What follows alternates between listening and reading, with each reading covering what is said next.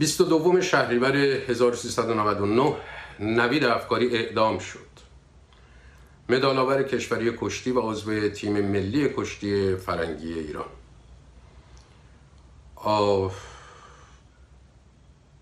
بر طبق پرونده نوید و وحید افکاری دو برادر رو در 26 شهریور 1397 می‌گیرن. بعد از اعتراضات و شورش های خیابانی مرداد 97 سه ماه بعد برادر کوچکترشون حبیب افکاری رو می‌گیرن چون تو این سه ماه دنبال کار پرونده این دو برادر بوده. دنبالشون بود اصلا اینه کجا هستن و وقتی می‌بینن کوتاه نمیاد میگیرنش بهش 27 سال زندان میدن و همین برادر کوچک حبیب. بعد از دو سال حکومت میاد یک فیلم تلویزیونی نشون میده. از اون مستندهای سیمایی که همه می‌شناسیم و در اون مستند نوید افکاری می‌گوید که من از اینجا اومدم اینجا و دو ضربه کار آشپزخونه از پشت زدم به آقای ترکمان مقتول.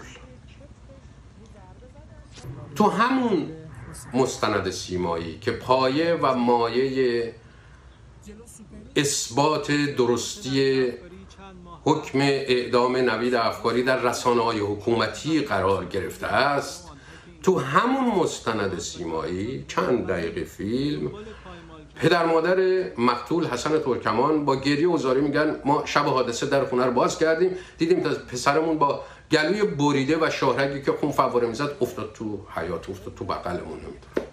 یعنی تو همون چند دقیقه معلوم نمیشه بالاخره از پشت دو ضربه کارت خورده مقتول یا اینکه شاهرگش بریده شده.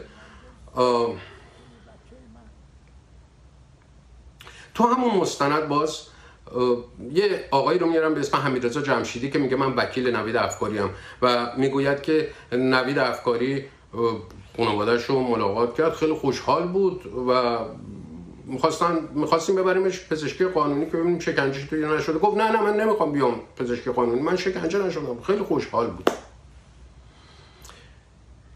ببینید کم نبوده. دفعاتی که ما در این مستندهای سیمایی پدر و مادرها رو دیدیم یا آدمایی رو دیدیم به اسم وکیل و غیره و غیره که اومدن دروغهای حکومت رو تکرار کردن. به هر دلیلی که در این مورد خاص به ویژه من نمی‌دانم آیا تهدید بوده تطمیع بوده چه بوده است. باری سوال اصلی این است که چرا حکومت میره سراغ این خانواده خانواده افکاری؟ چون خانواده افکاری در واقع نماد گرسنگانی هستند که در شورش های سال 96 97 98 فعال بودند. و الان حکومت دستگاه اطلاعاتی امنیتی حکومت بی تردید الان با توجه به وضعیت اقتصادی جامعه که هممون می‌دانیم پیش بینی برآمد دوباره شورش گرسنگان رو می‌کنن. نه فقط اونا تمام جامعه بین الملل داره این پیش بینی رو می‌کنه. که در تا زمانی که بر پایه هر روزه فساد و سرکوب و جنایت داره میچرخه اینجوری در ایران بی تردید شورش های سال 96 97 98 ادامه خواهد داشت. سال 96 دیگه مثل سال 88 اصلاح طلبی نبود که بخواد هدایت کنه تظاهرات رو و اعتراض های مردمی رو و اصولگرایی رو به روش باشه و اینها. به همین دلیل اعتراضات خیابانی سال 96 که به طور ناگهانی بیش از 100 شهر رو در بر گرفت شورش گرسنگان نام گرفت. سال 97 در ابعاد وسیعتر بود این شورش گرسنگان. سال 98 در ابعاد وسیعتر.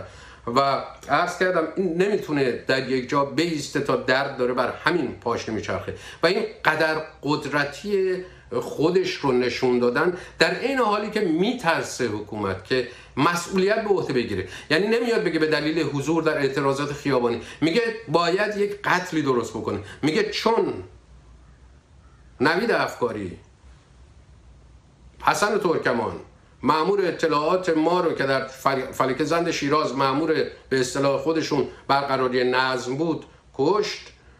بنابراین قصاص شد توسط